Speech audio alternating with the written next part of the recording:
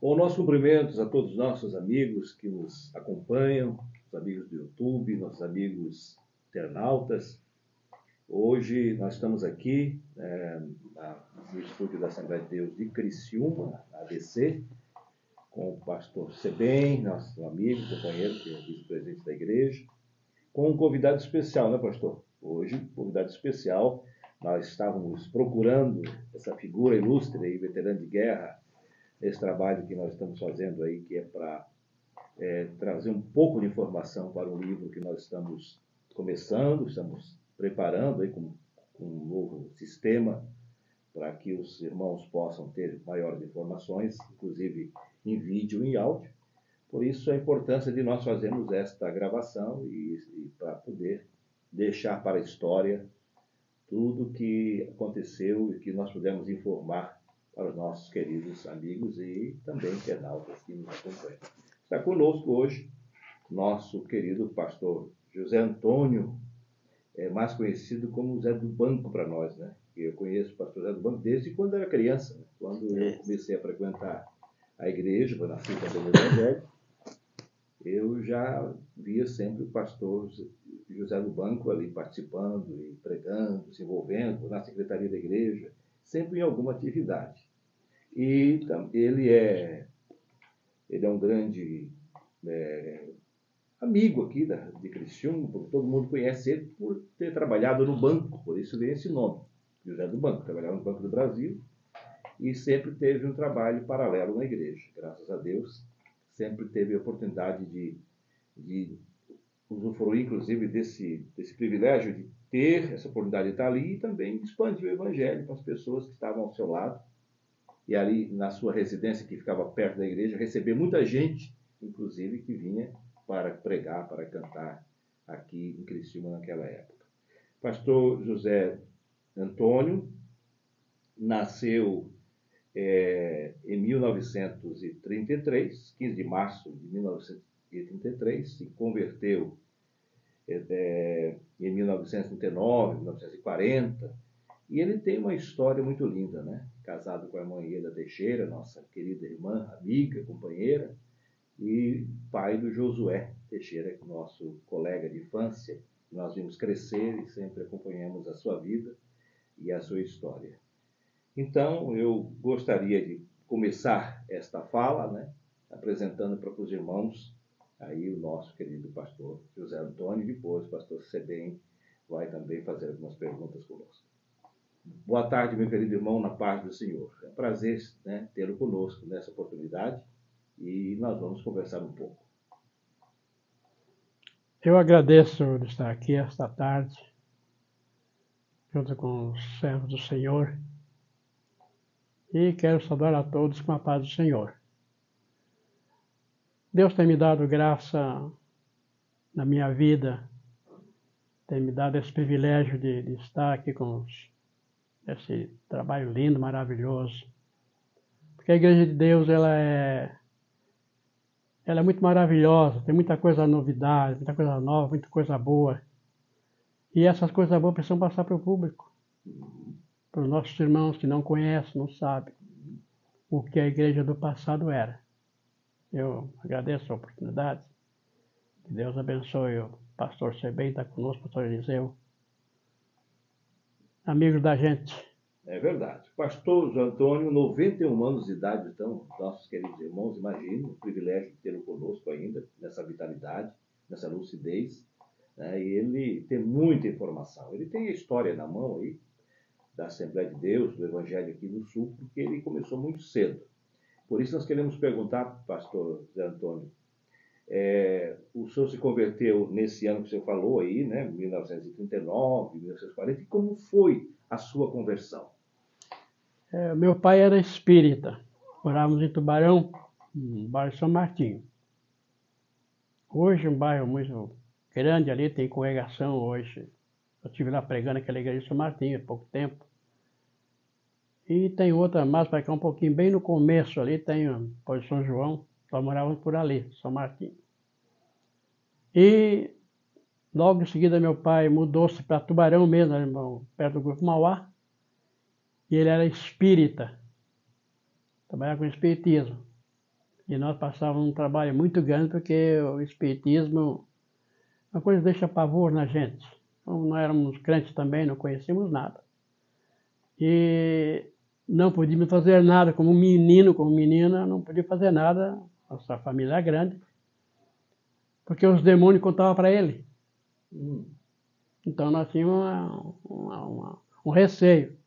E aquilo pesava na, na, na vida da gente. Mas lá um belo dia, ele se meteu numa encrenca com a igreja de Tubarão, o pastor André Silva.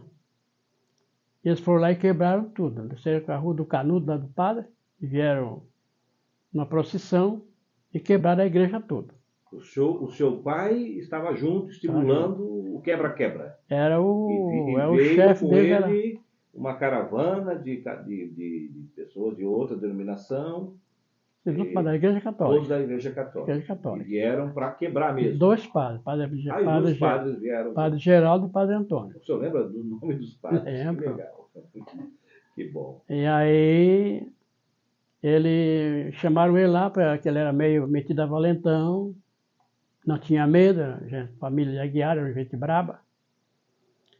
E aí, então, pegaram ele para uma testa de ferro ali, para a igreja. E quebraram tudo os bancos para fora, quebraram, arrancaram janela. A casa da irmã, se não me engano, era Lúcia Orch, se não me engano, a casa de oração. Uma igreja pequena, dois pisos. E ele chegou em casa muito assustado. Minha mãe olhou para ele e perguntou, meu velho, o que, é que houve contigo?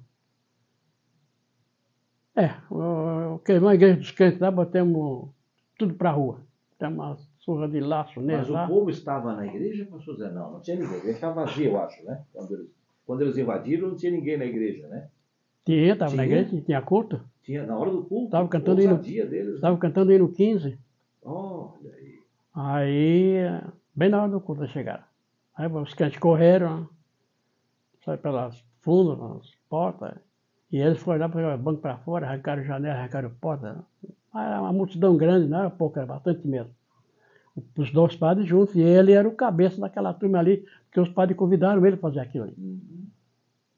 Então, assustado, em casa ele disse, ah, minha velha, fomos lá no, na igreja dos crentes, quebramos tudo, temos o banco para fora, arrancamos janela, e ela disse, eu vi que está te metido em crenca. E agora? Hum. É, o padre Geraldo e o padre Antônio estão presos. O, padre, o, o delegado levou num jipe.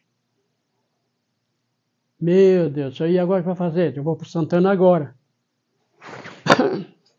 vou para Santana agora. Eu arrumo uma bolsa, uma coisa, minha roupa que eu vou para lá, para casa dos teus parentes, e depois me manda uma carta dizendo como é que estava a situação. E eles foram embora, foram a pé pelo trio, Tubarão a Santana, no Uruçanga. Então, amanheceu o dia lá. E passou-se o tempo, os padres foram presos.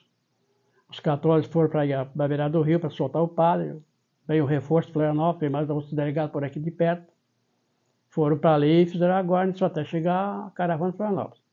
Quando chegou em Florianópolis a notícia, o interventor já passou o rádio para o Getúlio Vargas, no Rio de Janeiro, lá no Catete. Ó, prendemos dois padres de Tubarão, um é alemão e outro italiano.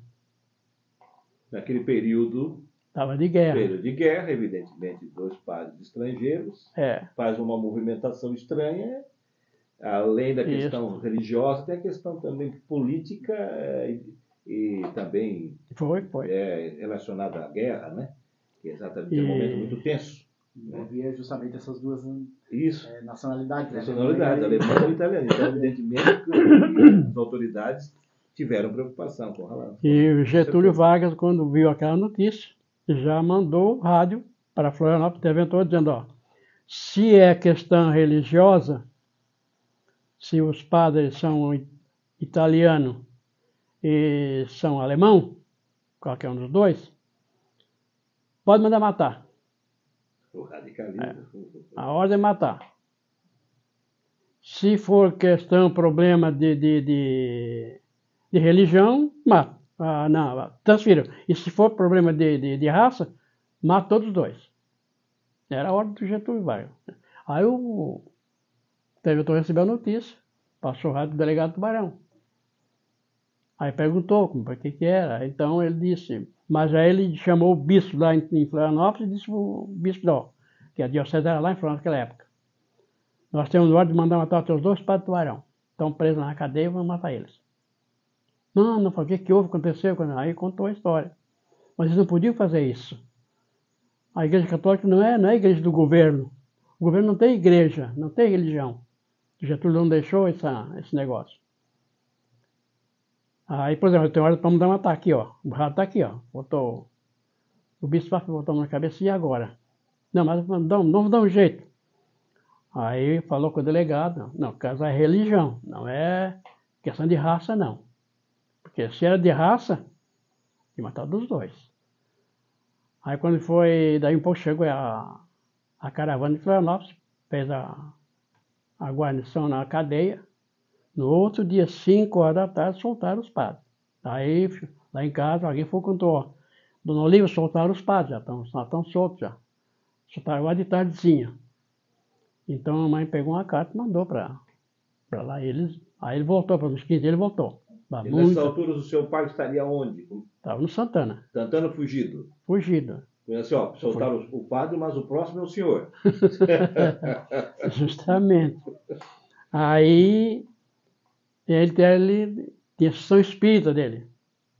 Ah. Aí depois de um, uns meses, veio o pastor Orlando Boyer, né? Para Tubarão.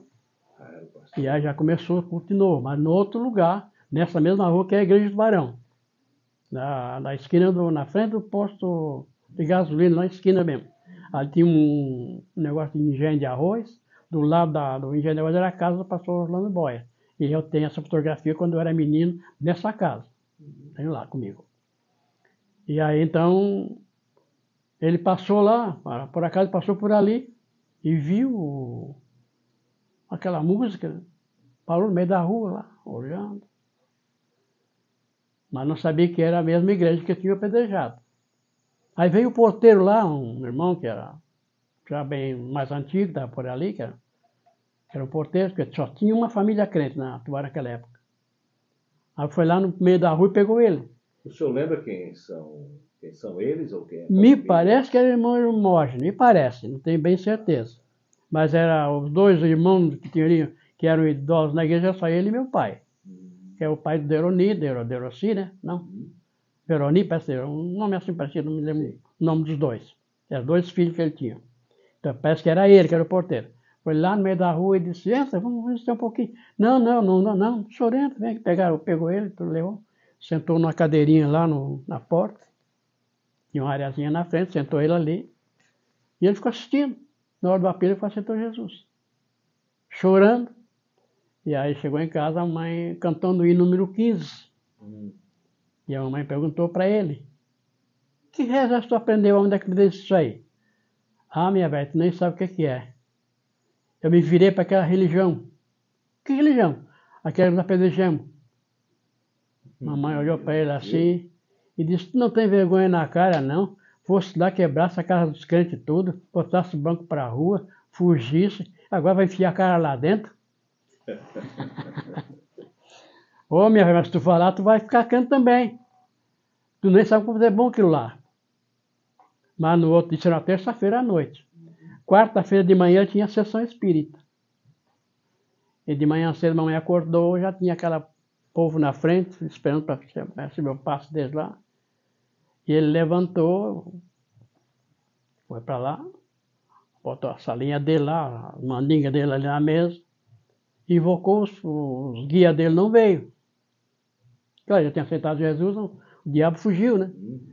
E a mamãe olhou para ele lá da, da, da, cozinha, viu ele assim atrapalhado, foi lá. O que foi, meu velho? Ei, minha velha, essa religião aí não presta não. Por quê? Os meus guias não vieram mais. Aí a mamãe disse, então, meu velho, essa aqui é a boa. Porque se eles fugirem é porque eles são fracos. A outra é mais forte que a dele, que a tua. É, então. claro, Deus trabalhando. Não era aquele, mas Deus trabalhando na vida. É. Sim, agora o que eu vou fazer? Não, eu leio um pedaço da Bíblia, que eu não sabia ler, mas não sabia ler. Eu leio um pedaço da Bíblia, a Bíblia que o Padre Geraldo deu para ele. Eu leio um pedaço da Bíblia aqui, esperando Deus, já, visto das coisas, não precisa mais tá fazendo sessão. E assim ele fez. Então, aí ele- ela leu um pedaço da Bíblia para eles, entraram na salinha, leu um pedaço da Bíblia, dispensou eles, e quinta-feira tinha culto, no outro dia. Aí nós fomos todos, aí eu já era menino, lá todo mundo aceitou Jesus. Foi nesse momento que o senhor aceitou a Jesus. Foi no momento. é. Isso mais ou menos 1939, É, mesmo 40. 39, 40, mais ou menos. Porque em 43 teve o primeiro batismo em Tubarão. Assim, Foi o- a minha mãe, meu pai, meu irmão mais velho foi o batizado. pastor era ainda o... O Orlando Boyer. Orlando Boyer. É, que Ah. nos registros consta de 42 a 45 ali o Boyer em Tubarão e na região, né? Então era mais ou menos esse, essa época. É, nessa época. Aí, pô, quando foi em 43, o primeiro batismo em Tubarão. Diz que eles iam fazer o batismo ali, mas não parece que iam jogar pedra, uma coisa assim, aí ficaram com medo foram para Cabeçuda. Eu não me lembro dessa história, que se foi Cabeçuda, mas para mim foi Tubarão mesmo. Eu fui batizado no Rio Tubarão em 45. Eu tinha 12 anos de idade quando o pastor Isaac me batizou. Já era o Isaac, É, O Isaac lembra, o pastor Isaac Boy já tinha ido embora. ele embora, veio Isaac Lemos. O Isaac Lemos veio no lugar dele, lá do Rio Grande do Sul, que era o pastor, o tio dele de Florianópolis, é o, o pastor João Colenda, né? Que era o pastor de Florianópolis. Então trouxe ele, botou ele ali. Mas não ganhava nada, porque não tinha entrada, dinheiro, não tinha nada. Ele tinha um caminhãozinho velho, trabalhava com caminhãozinho velho, carregando farinha para os navios lá em Laguna. Então, fazia três trilhos ali carregando farinha para poder sobreviver. E em 45, eu estava em Uruçanga, aí meu pai disse, ó, tenho batismo, vou ter que batizar. Então, vou batizar sim, claro, quero me batizar. É batizado no Espírito Santo, né? Aí eu batizei em 45 em- no Rio Tubarão. Lá aquele rio, jogava, nós batizando aqui, os pedras caindo do outro lado, cheio de pedra. Não. Tudo jogando pedra de cima. Ah, o pessoal apedrejou. Ah, foi, foi. Só não jogava, só não jogava pedra em nós, mas jogava do lado para perturbar. Do lado. E desci, vendo que mergulhavam lá, ia. Isso, Nós se certo. Era no, meu, no primeiro, no primeiro batismo foi cinco. No segundo batismo foi comigo, aí já era nove. E uma, inclusive uma tia minha também, de Uruçanga, batizou-se. Era lá no Rio de Janeiro. Então, o pastor Orlando Boyer, ele deve ter saído de 44, mais ou menos, para- para Florianópolis, para- mas eu para sair essa época por aí. Certo. Em 43 ele fez o batismo ainda lá em Tubarão. E foi batizado meu pai e minha mãe, meu irmão mais velho. E eu já fui batizado no outro batismo que houve, em 45. Eu já tinha 12 anos. Quando eu fui para me apresentar para ser batizado, o pastor Isaac olhou para mim assim: Não, tu não tem idade de ser batizado. E eu disse: Não, mas ah, eu já sou batizado com o Espírito Santo, eu sou crente. Tu joga bolinha de vidro? Não. Joga futebol? Também não. Aí mamãe chegou não, pode batizar que ele é crente. José é crente de verdade. Ele Espírito Santo, não. mudou a vida dele por completo. Deus já tinha um plano na minha vida, para ser batizado. O batismo do Espírito Santo também, bem antes, foi uma coisa muito gostosa. Então, Nós saímos da roça, vinha para casa para jantar. E mamãe fazia a janta, e quando fazia a janta nós íamos morar. Meu pai levava para a salinha e morar tudo. A sócia chamava a gente quando ela estava Isso em Tubarão. tubarão. Tubarão. Então, nessa época, quando o Isaac assumiu, ele não era batizado com o Espírito Santo. E não era presbítero também. E batizava, fazia, dava sair tudo. Tinha, não tinha problema não. Porque não tinha, não existia, gente. Material humano. Não existia matéria humana. Então, é, o que pegava, ia para ali.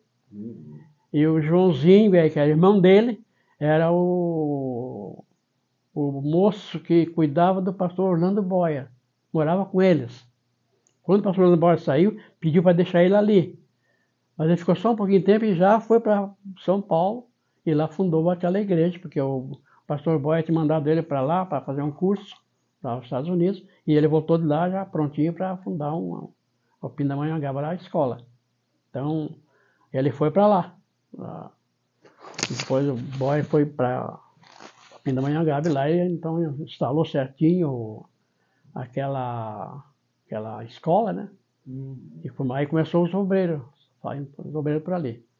Depois eu nunca mais pude ver o pastor Boy, até queria ver, com um mocinho já queria ver, mas Sobre aquela, a- a- aquele seminário lá em Pindamonhangaba, o- depois o Colenda assumiu? Porque o Colenda também esteve lá nesse período, né? Também participou. teve, lá. mas primeiro foi o Boyer, né? Primeiro foi o Boyer. É, o fundador, Boyer, porque o, porque o João Colenda, o Joãozinho era empregado dele na, na igreja. Ah, entendi. Por Então, e ele lá. encaminhou o Joãozinho para os Estados Unidos, fez o curso lá, quando voltou, já veio para São Paulo. Uhum. Desse período aí, ele ficou uns tempinhos por aí para Florianópolis e foi para Sabe, Pindamonhangaba. pastor CB, nós tivemos muitos dos nossos irmãos aqui que fizeram curso em Pindamonhangaba, né? O pastor Rui Ah, tem bastante, na é, Itacaiana, daquela época, o Edilson aqui de É, o filho do Sabatino, assim, vários daqui O presidente da convenção, pastor Nilton foi naquela época. Nilton também tá. É. Foi o, no ensino foi o. Se foi, foi o Daniel. Se foi, mas o pastor do pastor não foi ninguém, não. Foi do pastor, eh, pastor Hilário foi. Foi a, a filha dele casada com esse de Joinville lá, o Sim, pastor que morreu, sim, sim, filho do Valmor Carlos de o amor. É, Ela parece que foi a, a filha do pastor Hilário. isso, é, exatamente. Também Depois aquela- foi a- aquela aquela guria também, que é uma irmã aqui da, do São Cristóvão, pagou a, a estadia dela lá também, a, o A. Perpétua. Perpétua, é isso mesmo. Perpétua, lembra da A Perpétua foi o filho do pastor Hilário, também foi, José, né? Foi, foi, Foi, também, também O foi. pastor Vinícius Ferreira daqui também Também foi, né? foi. Também foi, época, Eu sei que Foi, a Perpétua estava lá porque, por coincidência, né? É, quando o Tony, o e a saudosa menor- memória estiveram aqui em Criciúma, e lá em Siderópolis ainda o tra- trabalho era muito forte naquele período para a mineração, então normalmente os pastores levavam os cantores lá para Siderópolis porque eles iam na escola dominical e já levavam depois eh, os pregadores ou cantores para conhecer essa máquina, que era uma dragline, né? escavadeira 7800, que extraía a terra até chegar no carvão, tirava toda aquela terra, e depois vinha uma outra máquina chamada shovel, que tirava o carvão e colocava na- nos caminhões para levar para o britador, para a lavação do carvão. Então, nesse período, eu lembro que tinha, é, é, é, tinha vindo ali Tony Oziel e a Perpétua estava nesse culto lá em Siderópolis, Rio Fiorita, né? Onde tinha a coligação mais forte, Rio Fiorita. ele Ah, estava começou ali também. né? também começou lá, Começou. né? Os nossos pioneiros lá.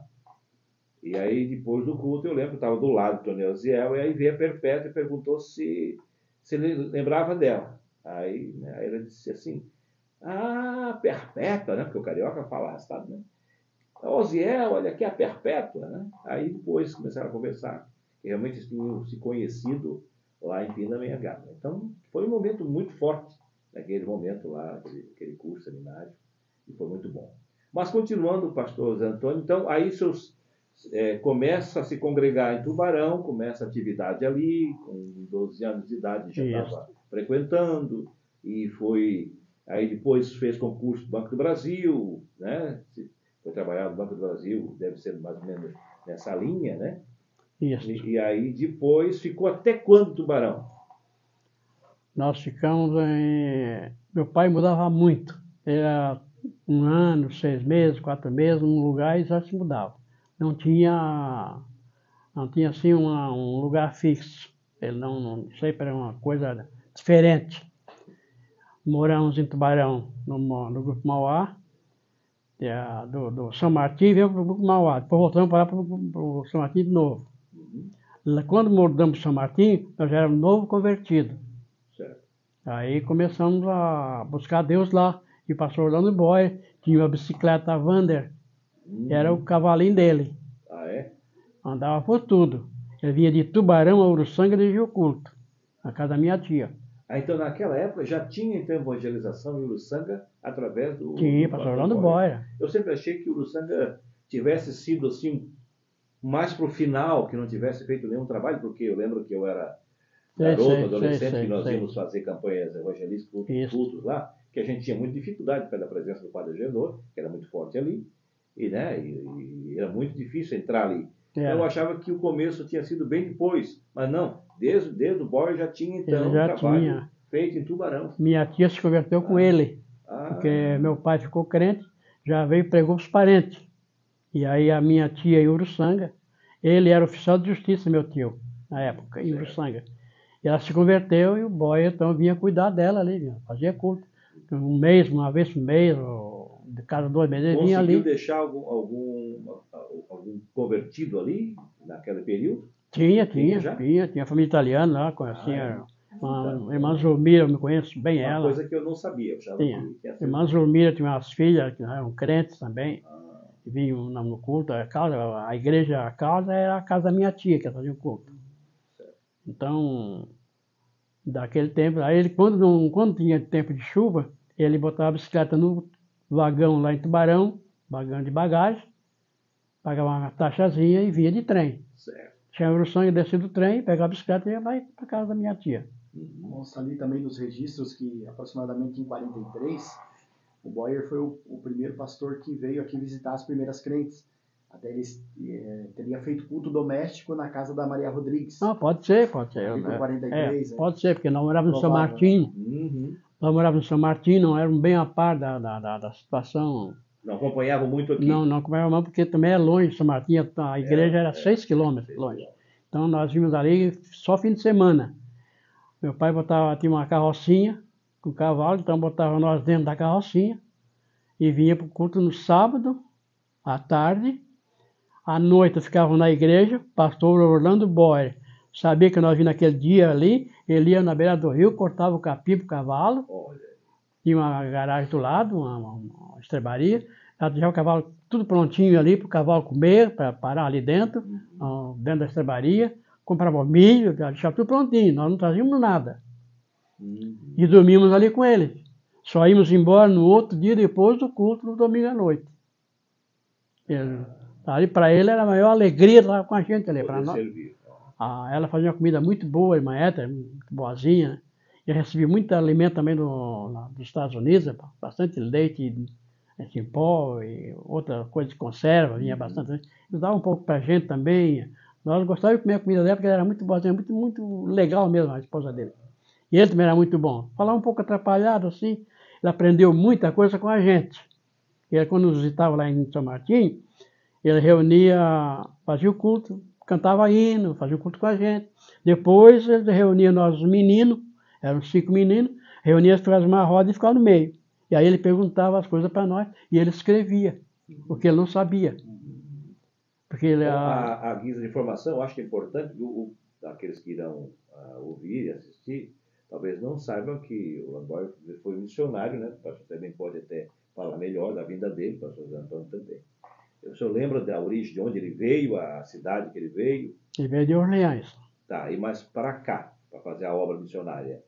Ele veio da onde? Da- decreto natural. Eu peço que veio para Orleans direto. Mas da onde? Qual, de Para qual? os Estados Unidos. Estados Unidos. Estados Unidos, ele era americano. Americano. Falava muito enrolado. Pouco Ah. se entendia ele.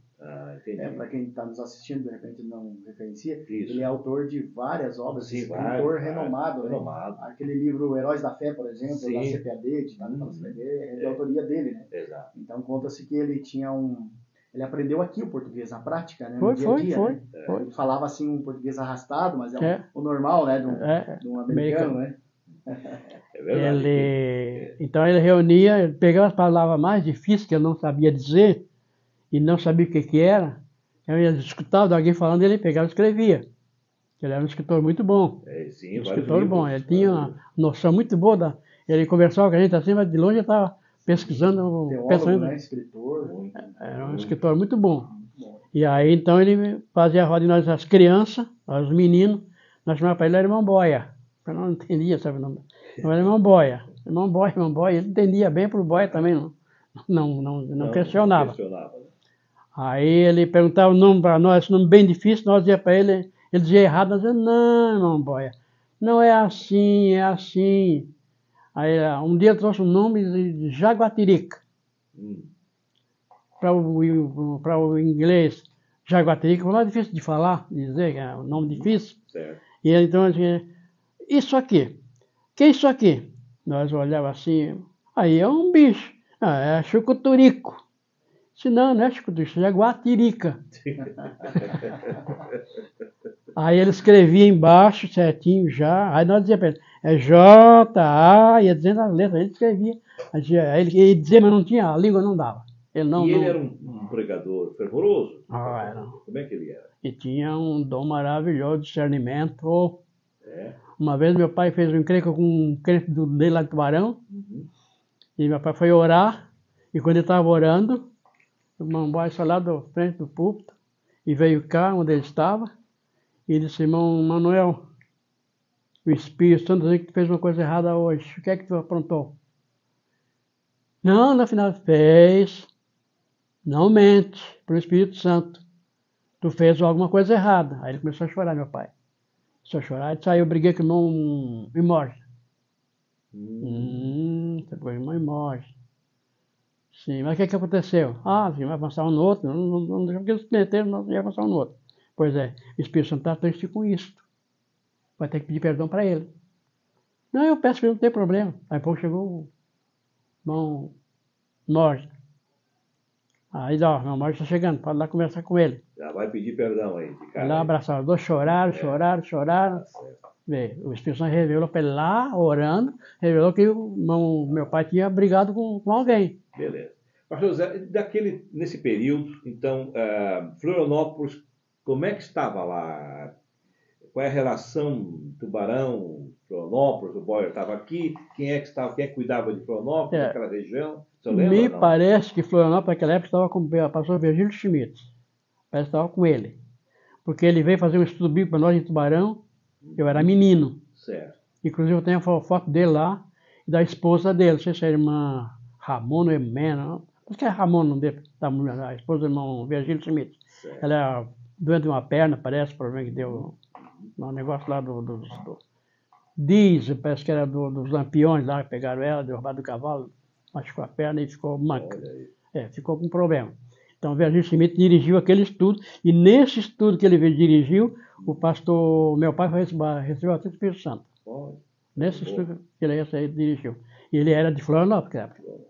Então, acho que era, era, era com ele. O senhor já Não tenho tinha bem certeza. informação de como estava aqui em Criciúma, não? Tinha essa... Não, não, aqui não tinha nada naquela época. Não tinha nada aqui. Não tinha nada aqui? Não.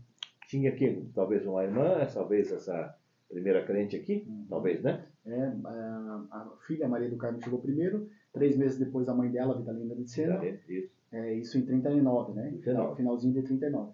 Aí 43 a Maria Rodrigues, são as três primeiras assembleianas a, a estar residindo aqui, né? Uhum. Então, resumidamente, Tubarão, então, foi pioneira na... Então, ela Foi, foi Tubarão. pioneira na É, região. a sede era Tubarão. Tubarão. É, Tubarão era tudo. Embora que Tubarão, nesse tempo, até estava conversando aqui nos bastidores antes com o pastor Zé Antônio, Tubarão ainda não era emancipada, né? Então Não, Tubarão não, também não. pertencia à capital. pertencia É, a capital, Florianópolis. é. Ah. Depois ele foi emancipado mais tarde, quando, quando o pastor Isaac recebeu o Espírito Santo, aí emanciparam o Tubarão. Porque aí ele recebeu o batismo, foi lá em Florianópolis. sim. E logo É. teve a transição, né, pastor? Foi. É, do Antonieto Grangeiro, que assumiu daí. ah, E depois do, do Isaac Tubarão. veio o Grangeiro. é. Perfeito. Depois do Isaac. é. Foi em 48 a emancipação de Tubarão. Certo. Ela- Ela emancipou de Florianópolis, né? Uhum. E daí Criciúma em 53 emancipou de Tubarão. De Né? Tubarão. Foi, foi. Então, aí naquela época era muito perseguido. Muita perseguição da igreja católica. Não era do era o bispado, mas que a gente mesmo, era aí. Eu, como menino, tinha uns 13 anos, 14 anos, nós estávamos no Rio Deserto, num culto lá com as irmãs, nós morávamos lá, umas professoras que veio de Blumenau, irmã Belica e outra, não sei que o não, nome da outra. As duas eram professora e na escola fazíamos o culto.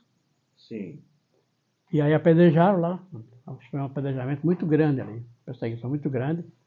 E das sete horas da noite até três horas da madrugada. Quebraram a telha quase tudo. Isso lá, hein? Em Rio Deserto. Até ali teve perseguição. Rio Deserto. Eu estava nesse. Eu, eu tinha 12 anos naquela época. Aí o engenheiro chegou, viu aquele barulho lá na, na- na escola, que ali era a casa de culto, que as irmãs eram crentes, as professoras, então elas faziam, decidiam a sala da, da escola para fazer culto lá. E o, pastor, e o pastor Borba é que era o obreiro, que era presbítero naquela época, era o obreiro que dirigia os cultos lá, no Rio Deserto. Aí então o, o pastor Borba dirigiu o culto, vinha de trem, e voltava para Criciúma. Já era Criciúma naquela época. Já já está morando por aqui já. Há pouquinho, chegaram pouquinho tempo, aí, um, uns meses só, depois que estava chegando em Criciúma, quando deu o apedrejamento lá. Aí o engenheiro chegou viu aquele barulhão lá embaixo, gritou com eles. Amanhã todo mundo no escritório. Quero conversar com vocês tudo, não vai escapar nenhum. O engenheiro, o que comandava a mina. Certo. No outro dia, eles foram tudo pro escritório, ninguém foi trabalhar. E ninguém vai trabalhar, todo mundo no escritório de manhã cedo. Aí ele reuniu todos eles, ó. Os crentes nós vamos transferir para o Rio América. E vocês que são católicos, não vai ficar nenhum na minha, botar tudo pra rua. Pô, deu uma choraçada, Ah, o brigaçada. engenheiro fez isso? Desemprego, ó, desemprego grande, naquela época é muito. Época de crise, né? Não tinha emprego, né? Uhum. E aí eles choravam, não tem nada. Os que são os crentes podem ficar tranquilos, eu vou mandar para Santana, para o, o Rio América, vocês vão trabalhar na mina lá. Já tem casa, você já tem. E aqui nós vamos ter que botar fogo nessa casa. Você tem tantos dias para sair da casa para botar fogo. O cara veio para brigar mesmo, engenheiro. Já tinha uma consciência Aí acabou a vila. crítica. Né? Arrancaram as casas tudo. E Ficou um deserto. Aí tinha usina de, de- A usina que dava a energia para Uruçanga, para Santana, para lá do, do, do Rio Deserto. Tinha usina aí. E meu irmão trabalhava nessa, usina, meu irmão mais velho. Trabalhava lá. Então despediu todo mundo, ficou, só ficou a usina. Nesse tempo nós mudamos para Laguna de volta. Moramos em Laguna naquela época. Ah, E em pra Laguna, Foi pra Laguna. Lá o senhor ficou muito tempo? Lá nós ficamos de 45 até 1948. Uhum. E frequentava a E igreja lá abrimos, não. Aí abrimos, meu pai abriu o trabalho lá em Laguna, não tinha também em Laguna. Ah, o seu pai que abriu em Laguna? Foi. Ah, olha, Aí o interessante. pastor Isaac, pastor Joãozinho, ia dirigir o culto na nossa casa. Isso. Aí abrimos o culto lá. Aquela igreja que tinha sido apedrejada uma vez, uma época, depois o pastor foi embora também. O André Silva foi para embora, e o outro dirigente também foi embora, não deu certo. Então, André Silva que o senhor fala é o André Bernardino? é, André Bernardino. O André Bernardino, Bernardino é o pioneiro catarinense, É, né? né? É, É. era o André Silva. Ele trouxe, ele trouxe André- primeiramente para Itajaí e depois É. veio para cá. André Bernardino. Aí ele, história. ele foi, não sei se foi pro Rio, né? desapareceu, eu não vi mais ele, porque ele também foi para lá pro norte, lá a gente também não ia para ele, era criança, não tinha ideia nenhuma. Meu pai ia nas convenções, ia com o pastor Isaac, de Laguna. Então, aí abrimos um trabalho na Laguna, lá no campo, no- na Roseta, depois fomos para o campo de fora, que hoje nessa rua do campo de fora tem igreja. Uhum. Aí veio uma, uma viúva lá do Rio de Janeiro e comprou uma casa ali, construiu uma casa boa, e aí na casa passou a ser o culto. Então nós a frequentávamos ali e meu pai trabalhava por. foi ganhando muita gente para Jesus. Meu pai era muito planejador. Ele não, não sabia ler, mas tinha um dom para ganhar alma que era uma maravilha. Uhum. Ele de almas. pregava e já a pessoa estava chegando na frente dele, era uma maravilha. senhor ficou ali então até 1940. Aí em 45 nós mudamos para lá. 45, 48, É, saíram de lá. É, saímos de lá e. Depois voltamos para lá de novo. Ah, Voltaram para lá. É. Quando terminamos a laguna, que estava já a igreja formada, tudo pronto, aí ele veio para Içara, veio aqui. Vocês vieram morar na Içara. Ia morar na Içara, abrimos o trabalho da Içara também. Não tinha ninguém ali, nenhum crente. Não é mesmo? Culto na nossa casa. O Borba que ela dirigiu o culto para nós. Na nossa casa. Ali no São João.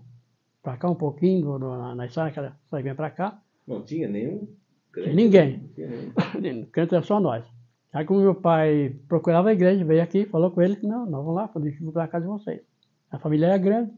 E nós convidamos os vizinhos, e aí começamos a trabalhar. Uhum. Moramos numa casa bem para cá, depois mudamos lá mais para onde era o cemitério, para lá um pouquinho. Ah, tem um posto de gasolina bem na frente, era uma casa. Aí passamos para ali, porque era a casa dos cultos. Certo. E aí começou a se converter gente ali.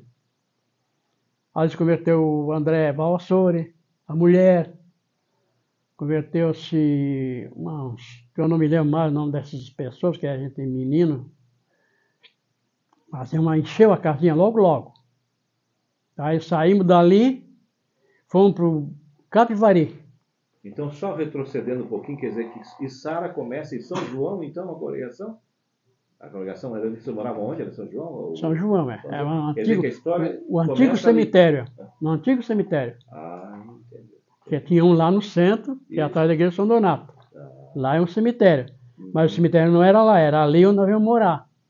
Só já tinha criado mato. uhum. E aí ninguém queria morar nessa casinha, porque a casa era chamada lá do cemitério, ninguém queria não. E depois desse período a igreja foi crescendo ali. Tá, Foi? dali pra frente, foi- frente. foi O senhor também falou em outro, uma outra entrevista, uma vez, eu estou lembrando agora, alguma coisa sobre Paulo Lopes.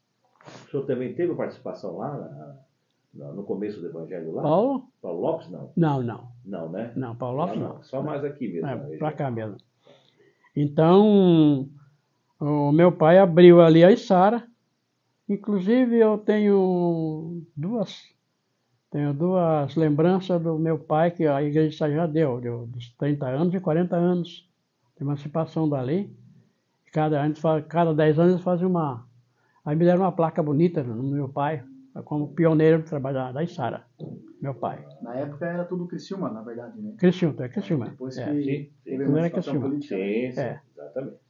Porque a Sara foi um problema, um caso muito sério também, porque o meu pai eh, vinha por aqui, andava por aqui tudo, ele saía procurando lugar para morar e era uma coisa engraçada. Nós estávamos morando na esplanada. Lá na esplanada, ele fazia da nossa casa o Borba também. Nós nós para aqui, para Içara. Então nós fizemos na esplanada também. Lá tinha, também tinha um- uma família crente lá. Então eu converti lá em casa. Dali viemos para Içara. Içara, então, quando chegamos nesse cemitério ali, abrimos o trabalho ali, trabalhamos, mudamos lá para perto daquele posto de gasolina, aí lá ficamos tempo. Dali vocês foram para outra cidade, hein? Não, aí mudamos lá para a mineração da Içara. Mineração. Lá onde é a igreja hoje, num potreiro lá embaixo, não tem que até hoje está lá o potreiro. Ah, lá é? era a casa de culto também. Na nossa casa foi casa de culto, sempre Certo. trabalhando. Então, era um trabalho muito árduo, muito difícil, mas meu pai metia a cara, aí, aí, aí, e trabalhando, lutando, e quando é pouco já tinha gente crente na. Uhum, Converteu-se aquela família da, do Osni, se conhecesse o Osni, uhum. acho que ele morava na Prósperas por ali. Sim. Ele era parente daquele que cantava a Marina. Aham. Lembra da Marina? Sim. O, o Osni, acho que é casado com. Ou é irmão da Marina, acho que o Osni é irmão da Marina, se não me engano. Se não me engano. Então ele converteu-se com a gente ali. Então. Converteu-se no Leva Vassoura, converteu-se mais outras três famílias. Quando nós estávamos prontos ali, a igreja formada, mudamos para Capivari. Lá para beira do rio. Ah, voltaram para pro- região. É para o Caçador, Capivari. Moramos lá também. Na nossa casa também era já culto. tinha igreja? Já tinha igreja lá? Não, não tinha. Também era ponto de pregação, mas mais para cá um pouco, mais para o centro. Nós moramos lá no Caçador lá fora. Ah. Então não tínhamos. Mas era assim um trabalho árduo, difícil. A gente, meu pai andava muito, não parava no lugar. Não sei se Deus permitia aqui É, para ele poder permitiu, abrir o pra- trabalho. Para estar semeando, né? É, para semear, não sei se era isso, né? Então, E em Deus que ano o senhor veio para. Criciúma, pastor? É, aí eu vim para Criciúma em 63. 63 É. e aqui começa a cooperar Aí comecei a trabalhar com o pastor é- Montanha. tempo do pastor Montanha. É, aí mudei para Aranguá, porque eu fui nomeado para Aranguá.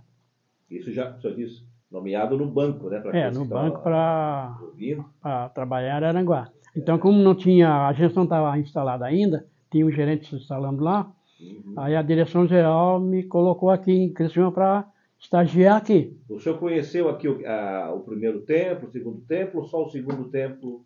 Aí eu conheci o, desde aquele que foi mudado ali da, da, da minha casa ali para cá, Uhum. no, no, no prédio tinha a casa ali, Sim, bem na frente de Mocendino. isso. Ali era a casa da congregação quando foi Ah, era ali? passado para cá. Era uma casa o primeiro velha. templo que era alugado, né? Era lugar, uma casa velha, tava- conheceu esse templo? conhecia, tempo era uma casa preta assim, que era bem escura, as tábuas, e é bem assim, não tinha, não tinha safra, tinha nada, e ali era a casa de culto, Certo. que é na frente da minha casa hoje ali. Isso. Perto da Então, antiga motocar, né? É isso, né? Perto da antiga motocar ali, né? Dizem que era. Não é aqui no, no, no Vânio Belmiro, Be- Vânio É Belmiro aqui. Vando Burmir. Pelo que ele fala, É, é, é, Vânio Belmiro, era ali. ele é. tem, eles têm uma residência ainda dele, ele que é ali né, na frente, bem na frente. Ah, que é um, um prédio. É, a minha grande casa é ali, é. Uma casa. José mora ali, inclusive. José, o filho dele mora ali. É. Então, Era, inclusive, abrindo parênteses, é onde ele recebia, adiantando um pouco a história, né? onde na época em que ele estava aqui, acho que no tempo mais do Montanha, Nilton, talvez nesse período, né? onde vinham os cantores para É. cá, a maior parte dos cantores ficavam na casa dele. Nesse tempo eu tinha 12 anos. É, eu só conto uma história muito bonita, que inclusive foi aquela história do, do Luiz Carvalho, quando veio cantar aqui, né? Sim, sim, é, é. Que Foi, acabou foi. vindo cantar aqui na Igreja Batista e acabou Foi. convencido a cantar Nesse- aqui e nesse deu, um- deu um tempo, mal-estar aí, né? é. Pastor Assia, na época. Nesse tempo eu era o vice-presidente da igreja aqui, pastor a gente mudado para Lages nessa É. época. E eu assumi a igreja trabalhando no banco como presbítero.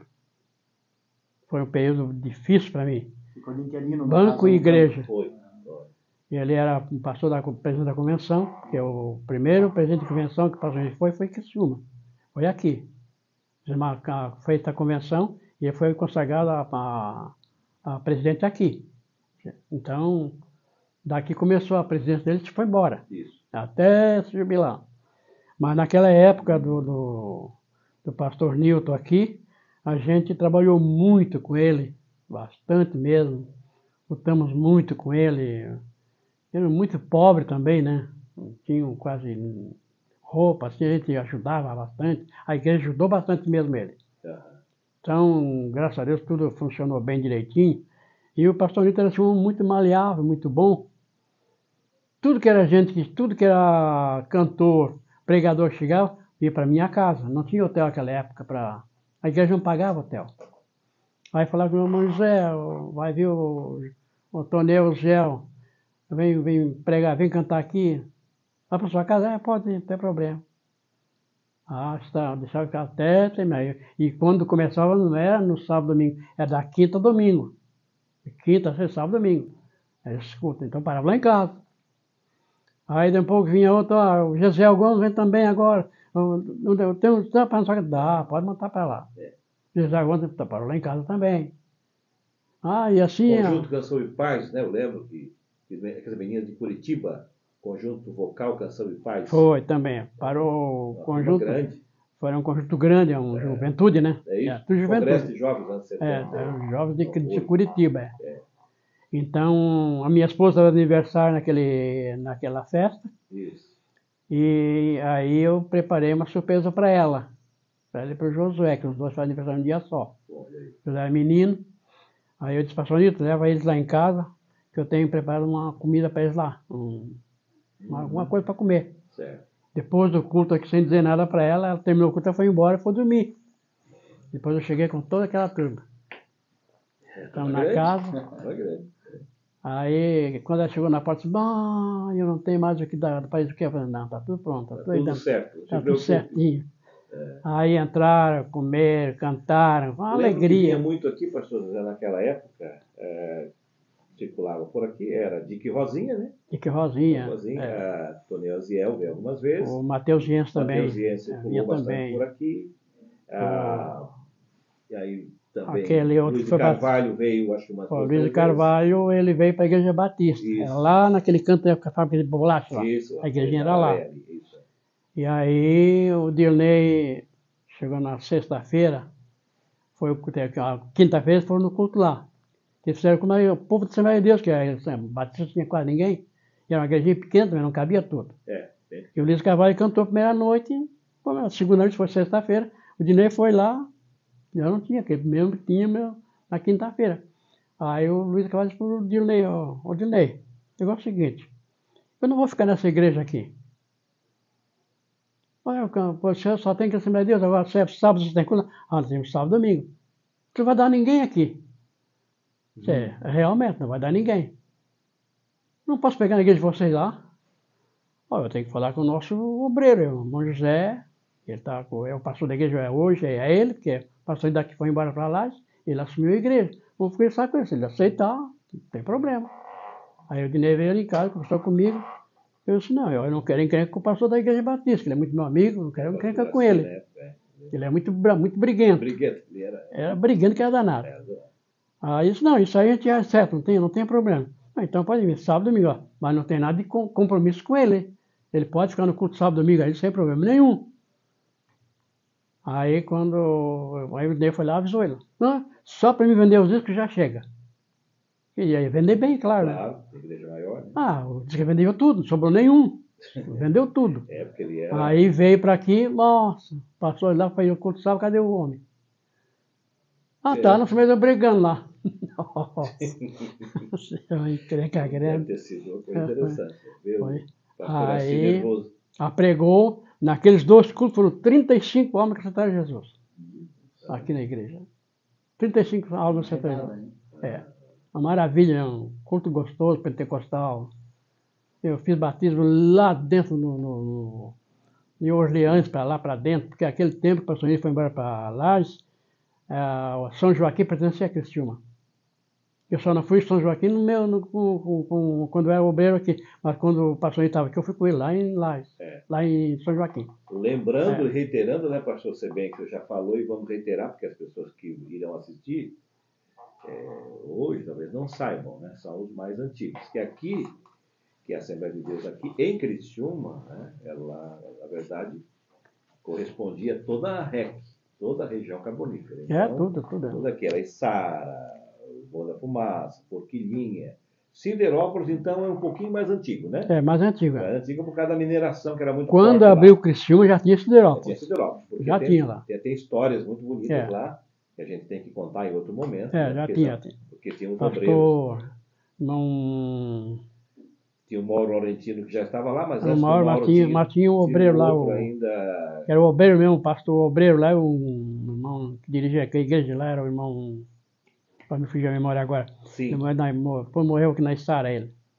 Veio para ali, para ali, orou ali. é que é parente do Mauro Laurentino. É, parente dele, né? Exatamente. É, é, Agora fugiu o nome, é, mas eu o conheci, tive o privilégio de conhecê-lo pessoalmente.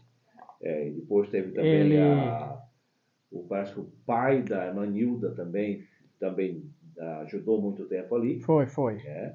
Não é o José da Mota que você está O falando? Mota também evangelizou Não, lá. era Mota já é outro caso. É, Mota. e também participou Pastor- bastante ali também. Pastor Mota, ele chegou a ser ministério, depois ele foi consagrado. É. Uhum. É, O Mauro não foi, o Mauro ficou por ali mesmo. Por ali foi obreiro, muitos anos, foi meu E obreiro, esse né? outro, que era o obreiro de Siderópolis, ele era um homem muito, muito avivado, Era, era. fervoroso, pregador de mão Irmão cheia. Augusto, não era? Irmão Augusto? Irmão Augusto, Augusto. irmão Ah, o Augusto. Augusto que veio junto né, com ele, né? Com o José da Mota, né? Augusto de Cerquilho, São Paulo. Sim, é, os dois eram bem Ah, amigos, os dois, bem E- amigos. os e- dois. Era no mesmo tempo, né? É, o Augusto. E o irmão Augusto, ele trabalha, veio trabalhar, também, também trabalhava na mina. É, E ele tinha um hábito de orar nos horários de intervalo de almoço, na, de, de, de- de lanche na mina, isso contado pelo irmão Mauro, que é, que é parente dele, que a gente conviveu ali, né? E aí o pessoal chegava num certo, num certo horário ali da noite, às vezes que ele um vulto, um barulho, na, naquelas galerias, e, e saía uma onda que estava assombrada as galerias ali, porque tinha um, tinha um barulho estranho naquela galeria. Foram indo, foram indo, foram descobrir, era o irmão Augusto que estava Orando. lá e fazia um eco na, naquelas é cavernas. verdade. Então, era muito orador, ele É, gostava muito de orar. Fervoroso mesmo, fervoroso. fervoroso e ganhador de alma. É, evangelizador. A igreja era cheinha lá. O pessoal, quando tinha festa para. Era, não era Siderópolis, era Rio Fiorita, né? Fiorita. Rio Era Fiorita. terra, onde eu É, nasci. Fiorita. É, onde eu nasci. Onde Aí, me congreguei, onde comecei tudo, tudo lá, né? É, inclusive tinha duas bandas, né? Uma banda lá e uma banda aqui. Então, a- a- era tão forte a congregação que o mesmo número de música que tinha lá, que tinha lá, tinha aqui. Então, quando tinha uma festa grande, juntava tudo aqui, né? Até porque era o mesmo campo. No mesmo né? campo. É, Era o campo. Então juntava, se encontravam aqui, mas o mesmo maestro, que era o, o, o Hans Schultz, Xuxa. lembra? É. Que era um maestro, um alemão muito inteligente. Né? ele dava aula aqui na E- Içara estava e Araranguá. isso, E também lá em Siderópolis. Então, Siderópolis também. ia para lá. Né? Os pastores iam muito para lá, visitavam muito, pastor Montanha, pastor Newton. Né? Eu lembro do Montanha, quando era garoto, novinho, que ele ia muito em Siderópolis. Né? Ia sempre lá. Ele visitava as casas, lá em casa às vezes ele ia, né? Meu pai eh, era encarregado lá da Marion, trabalhava na Marion, essa máquina lá, essa dragline, né? E ele sempre ia com a lambreta dele, mas já trazia o tomate, né?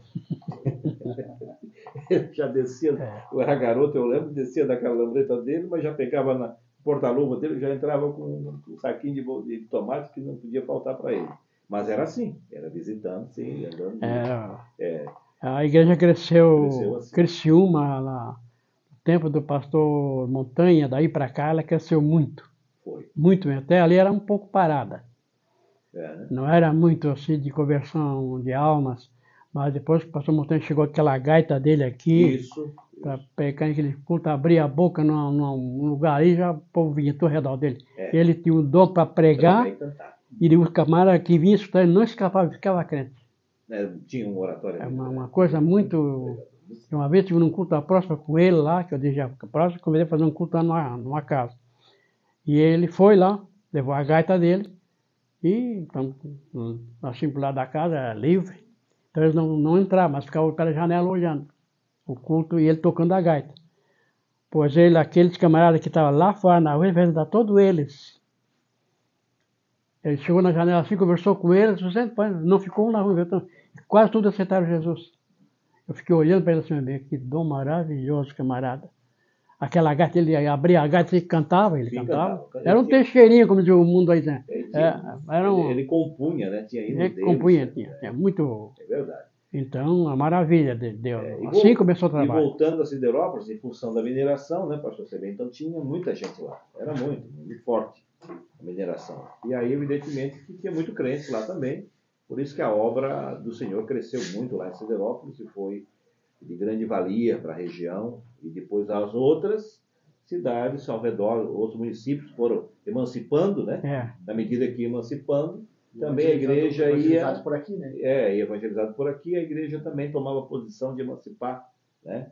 Porque é, para descentralizar né, o trabalho foi como cresceu, né? Todos foram descentralizados. Pastor, dizer uma situação. O senhor também participou ativamente da liderança da igreja em Criciúma, né? O senhor é, foi vice-presidente, né? É, Eu- Que período a que período, senhor? desde pastor Montanha até o pastor José Vieira. É, eu estou olhando aqui, Montanha, gestão 1962 até 68, né? O Arthur Montanha. Então Isso. o senhor já está. Eu cheguei aqui em 66 aqui. É, então foi durante a gestão do É. Montanha. Até o pastor José Vieira, que foi, é, foi 76 a 80, a gestão do Vieira. Isso, Olha, É, um o longo período, pastor, é um período. o pastor que substitu- substituiu o pastor Montanha foi o pastor Hilário da Costa. Ficou pouco tempo, né? Não ficou muito tempo. Uns dois, três anos. É, Acho que ficou dois três anos anos. ficou É. Depois veio o pastor José Alves. Zé Alves, é. José Alves deu uma grande divisão na igreja. Foi um momento Aquela difícil. divisão grande mesmo, foi, foi feio aquilo ali. Mas tudo Deus permite para o bom andamento da obra, né? Sim, Verdade. E naquela vez que deu aquela, aquele problema do, do Luiz Carvalho, depois o pastor meteu a boca na Assembleia de Deus, meteu, falou, falou. Mas quanto mais falava, mais convertia a gente. Ah, o quê? Assir ficou falando depois? Ou meti o pau, queria me pegar, eu não, não tenho, não É tenho culpa. verdade, isso eu não sabia. Sabia que ele tinha ficado chateado. de- ou, ou que queria me pegar, porque eu, eu aceitei o Luiz Carvalho, porque ele me ia mandar, uma, ia falar com a igreja de Batista, sei da onde, a presidência dele, botar ele para fora da rua, e eu, aí eu disse para o Luiz Declarou Carvalho. guerra Luiz Carvalho, então. Foi. Aí o Luiz Carvalho, eu perguntei, eu, eu, Luiz, tu, a tua igreja vai se encrencar comigo? Não se encrencar comigo, eu vou para a Assembleia de Deus e acabou-se. É, não, foi, não, não aconteceu nada. Não tem nada. Não. Então, isso é evidente que foi só uma, um- uma reação, é, uma reação momentânea, né? E evidentemente que isso acontece. Mas assim, pastor José, eu sei que o senhor tem muita coisa para falar e, e evidentemente que nós teremos muito prazer em poder ouvi-lo. Penso que talvez a gente tenha que fazer uma outra gravação, outro momento, para dar continuidade. Mas eu gostaria que o senhor é, nos momentos finais dessa primeira gravação, o senhor fizesse as suas considerações finais e dissesse da importância dessa sua participação. São 91 anos de feliz existência e, e todos esses anos de fé que o senhor teve, tem, né, e tudo que o senhor contribuiu para a obra do Senhor, o que semeou, né, e qual é a alegria de poder estar servindo o Senhor né, por todo esse período, período e o que você recomendaria, então, para aquelas pessoas que estão começando na obra do Senhor e que querem servir ao Senhor com alegria. É, graças a Deus, Deus, quando chama a gente, eu, várias profecias deu para mim que eu fui escolhido desde minha mãe. Então, não tive dúvida. Eu falei com Deus, com Deus em Porto Alegre, para vir para cá. Eu estava um pouco fracassado na fé, tinha casado com a moça não da igreja, que é a Ieda hoje, já converteu-se. E eu estava assim, nem cá e nem lá. E um dia eu vou para o serviço e eu vi uma voz na rua me chamando pelo meu nome. E eu disse, ué, lá em Porto Alegre, na rua Vontade da Pátria, eu morava Navegantes, estou ficando maluco, fim de voz. Andei um pouco, aquela voz do José, eu parei, olhei, ali não tinha ninguém, não tinha casa nenhuma, é tudo ali, era tudo galpão de comércio, de, de depósito, de navio. Eu estou bem não. Lá na frente eu andei mais um pouco, ia pegar o bonde, e aí aquela voz bem forte, bem. Aquela foi mais forte comigo. E eu parei e disse, quem é está falando comigo? E aí eu escutei a voz de Deus.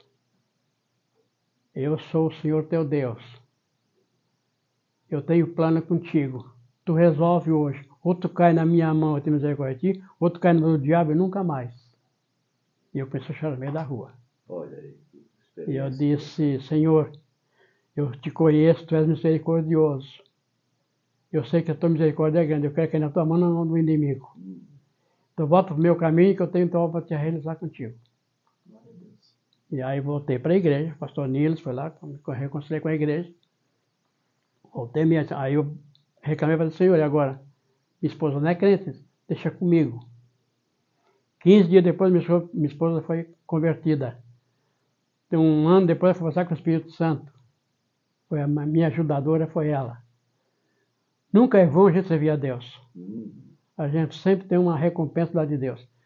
Quando eu entrei no banco, eu pedi a um, senhor uma, uma, uma, maneira de eu, de eu ir para a igreja, porque eu trabalhava de garçom naquela época, uma hora de era a igreja, então eu orava para que Deus me desse um emprego. Deus me deu o Banco do Brasil. E nessa época me mudei para Criciúma, quando fui nomeado para cá. Comecei a minha vida espiritual na igreja de Criciúma, meu trabalho aqui. O Montanha era muito amigo da gente, tive problema com ele, sério mesmo, e Deus ficou do lado dele, não ficou do meu lado. Foi uma grande lição que Deus me deu. Eu fui como presbítero da Aranguá, ele ia na Aranguá de Juscuto, para ser Aranguá, ser Criciúma, ele dormia na minha casa, estava lá em casa, parava lá em casa, e quando para cá não me aceitou, não prestou com o presbítero, não me aceitou. Por que também não sei, o problema dele, do outro pastor lá. E eu, eu fiquei ressentido com aquilo, não quis mais ir para a igreja, para essa reunião. Lá um belo dia vem de novo na igreja, do banco para a igreja, e eu venho para casa, e quando chegou no meio da rua, Deus falou comigo. Por que ele está ressentido? Eu disse, claro, ele não me aceitou como presbítero. Tu pensa que posição me coloca na, na minha frente para ter privilégio? Não tem privilégio comigo. Privilégio é aquele que me serve. Tu te lembra, tu quando tu orou um ano, pedisse um emprego, eu te dei o melhor que, que eu pedi te dar, o Banco do Brasil. Tá, prometi que tua vida seria uma vida abastada. Não te falta nada. Tu vai ter vida abastada. Agora, tudo eu fiz por ti. O que, que tu fazes por mim? Por que está ressentido por causa da posição de presbítero? Não me coloca para isso, não tem problema comigo esse negócio. Pô, tem que trabalhar, eu te chamei para isso. Eu comecei a chorar no meio da rua, cheguei em casa chorando. O que que houve? Vou para a reunião. E dia que na reunião, o Montanha estava na reunião, quando entrou na porta, pastor, dá, dá licença, pode entrar, irmão José. Eu já era vice-presidente dele. Pode entrar, irmão José, então. Aí eu orei, depois me sentei, ele assim, mas José, tu pode entrar na reunião aqui, mas tu não vai ser assim com o presbítero. Na minha cara assim. E eu fiquei assim, não, pastor, nem que seja como porteiro que eu trabalho nessa igreja. Eu trabalho nessa igreja, nem seja como porteiro. Aí ele baixou a cabeça e os irmãos ficaram quietos. Bom, peguei a escala daqui para Isara de bicicleta, dirigi o culto no sábado à noite. E para Uruçanga, domingo à noite. Eu fiz as duas escalas. Na outra reunião seguinte, ele me apresentou como presbítero. Aí, um dos irmãos lá levantou-se, mas pastor Montanha, o senhor, na outra reunião, das outras passadas, o senhor disse para nós que não, para nós não aceitar o irmão José como presbítero. Agora o senhor diz para nós essas coisas e agora o senhor está apresentando para presbítero? Eu fiquei com pena dele. Ele vermelhou, vermelhou, vermelhou. E disse, é, mas agora eu quero que seja presbítero. Se vocês não aceitarem aqui, eu levo para a Assembleia Geral no sábado agora e vou deixar vocês de lado. Aí eles aprovaram, como presbítero. Num mês só. Vê como Deus trabalha na vida da gente. Então, Deus, né, servir a Deus é a coisa melhor que existe. Também uma coisa. Sempre trabalhei, nunca quis salário. Fui, fui pastor no ministério, fui pastor em Uruçanga, fui pastor em Laumira, fui pastor em Morro do Passo, mas nunca peguei um cruzeiro da igreja para sustentar. Nunca quis também, era uma guerra que eu tinha com o pastor Nilton, porque eu não tinha salário. Eu dizia para ele, pastor Nilton, vou pegar dinheiro da igreja para estar no banco. Deixa eu ficar na igreja. Eu não preciso de dinheiro da igreja para viver. Deus já me deu. Uhum. Então ele ficava mais calmo, mas no final fui obrigado a continuar alguma coisinha para a convenção, porque ele exigiu comigo. Então, o trabalho que, a gente, que Deus chama, quando ele chama, pode ir por onde quiser. É igual o Jonas, quis fugir, hum. foi parar na, na, boca do peixe. Não tem, não tem jeito. E eu não pude fugir de jeito nenhum, então fui fazendo a obra de Deus. Graças a Deus me jubilei, nós me jubilaram, né? Por causa da idade, que eu não queria também. Mas o senhor ainda continua pregando. Continuo pregando. Ah, tudo que é lado por aí, estamos com vida. É. Só não vou quando eu estou meio doente, que a idade da gente não pode estar muito, não pode estar muito acorda, a idade da gente não é tão ah, nova. 91 anos, tem que me cuidar também. Aí eu pego uma gripe, ou Sim. a garganta cansa, mas tudo é para a honra e glória do nome do Senhor, para trabalhar, fazer alguma coisa. Que coisa linda. É, Mas está aí um exemplo aí, né, que para todos nós, para aqueles que haverão de assistir esse vídeo e, e entender como é que foi o começo da obra de Deus aqui em Santa Catarina, mais no sul, aqui, né, Tubarão, Criciúma, região, dá para entender a importância desses valentes, né, como o pastor José Antônio, hoje com 91 anos de idade, está aqui, né, nos dando esse privilégio de nós registrarmos um pouco das muitas histórias, muitos eventos que, que aconteceram na sua vida de bênção. Eu acompanhei, né? Só do que eu acompanhei, teria muito que falar do pastor Zé, para nós chamar para nós o pastor Zé do Banco. Né? Então, é, sempre foi para nós como um pai, né? conselheiro, é. né? E a gente sempre teve uma, uma amizade e um respeito muito grande pela sua vida e pela sua história. Nós queremos deixar isso aqui registrado e ficará para a posteridade esperando que aqueles que tiverem esse privilégio de poder assistir, né, que sigam esse exemplo. Exemplo de dedicação, né, de conversão verdadeira.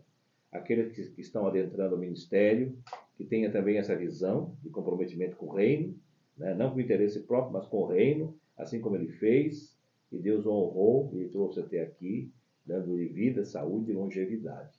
Isso é importante, por isso nós queremos agradecer, Pastor José, é, por ter atendido esse pedido e se houver oportunidade ainda, haveremos de ter ainda outras entrevistas para complementarmos o, o, nosso acervo de histórias lindas, né, como a sua. Maravilha. Em nome da, da nossa ADC, Pastor José, eu quero agradecer ao senhor pela sua disponibilidade. Obrigado. Né, a sua Obrigado.